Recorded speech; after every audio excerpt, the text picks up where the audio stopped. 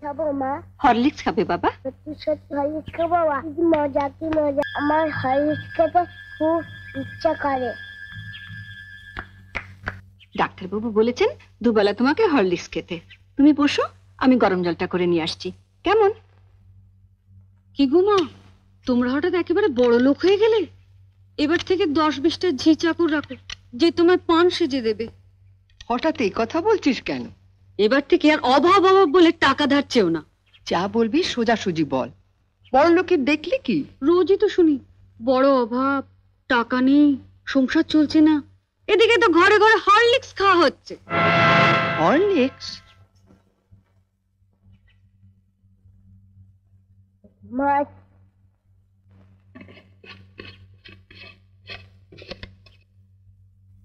তো হলিস দাও না চেটে চেটে খাব। দিচ্ছি বাবা।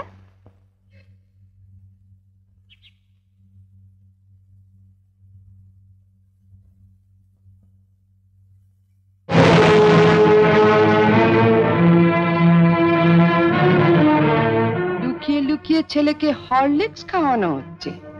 আর যেই না সংসারে একটু বেশি টাকা দিতে বলি অমনি মুখ শুকনো করে বলা হয় কোথায় পাবো? জ্বরেও দুর্বল হয়ে পড়েছে মা। ডাক্তার ওকে হরলিক্স খেতে বলেছে। তাই ওর বাবা ধার করে? থাক, ওসব কথা অনেক শুনেছি। ধরা পড়লেই ধার করেছি। নে, লতু, তুলে নে হরলিক্সটা।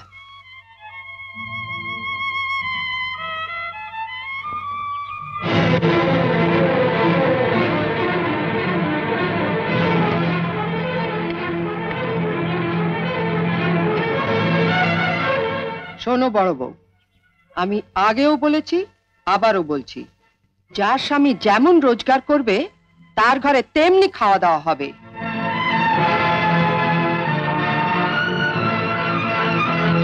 ছেলেকে যদি হরলিক্স খাওয়াতেই হয়, তাহলে কর্তাকে বলো রোজগার একটু বাড়াতে। নয়তো এর পরও যদি ছেলে হরলিক্স খেতে চায়, তাহলে বাজার থেকে কুড়ি পয়সা দিয়ে হরলিক্স বিস্কুট কিনে এনে দিও। কেমন?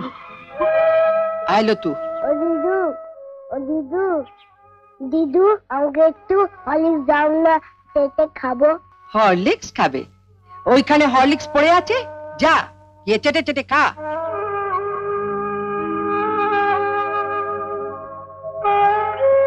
মা মা দিদি বলে হলিসটা খেতে।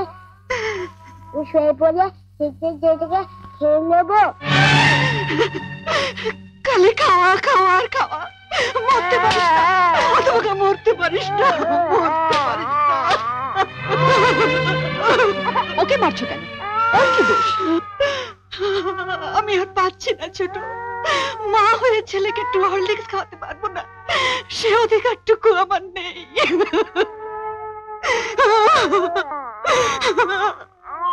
উনিও তো মা। ওনারও তো সন্তান আছে।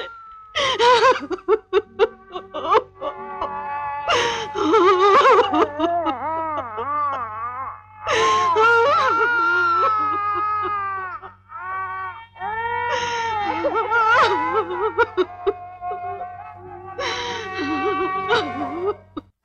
পেছনে লাগা? আমার ঠাকুরপুকে পুঁটি মাছ খেতে দেয়নি। আমি ওর ছেলেকে হরলিক্স খেতে দেব না। এই পানের বাটাটা টেবিলের উপর রেখে খাটের নিচে একটা প্লাস্টিকের ঝুড়ি আছে। বের কর তো।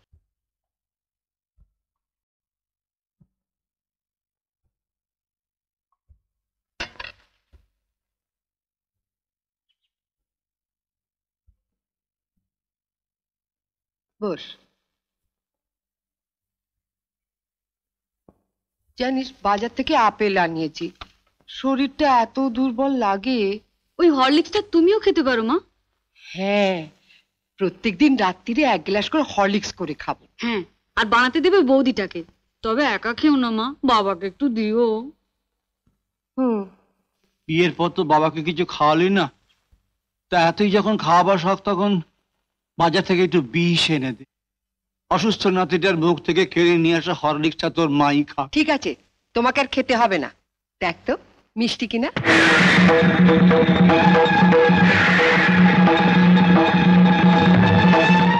এটা কি হলো? আপনি তো একটু আগে বড়দির ঘরে বলে এলেন মা। যার স্বামী যেমন রোজগার করবে তার ঘরে তেমন খাওয়া দাওয়া হবে। আপনার স্বামী তো মাত্র দেড়শো টাকা পেনশন পায় মা। আপনার যদি এতই ফল খাবার শখ হয় মা, বাবাকে বলুন না রোজগার বাড়াতে। নয়তো এর পরেও যদি আপনার ফল খাওয়ার শখ হয়, তাহলে বাজার থেকে কুড়ি পয়সা দিয়ে কুল কিংবা পানি ফল এনে খাবেন। কেমন?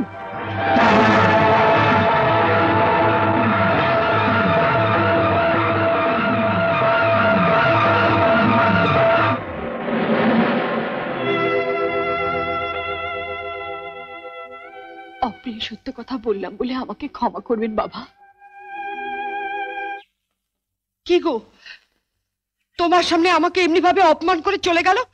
আর তুমি কিছু বলবে না? হ্যাঁ বলব। বলব? নিশ্চয়ই বলব। আজ আমি ভগবানের কাছে প্রার্থনা করে বলব হে ভগবান বাংলার ঘরে ঘরে দজ্জাল শাশুড়িদের সায়স্তা করবার জন্য ছোট বউয়ের মধ্যে একটি করে বউ পাঠিয়ে দিও।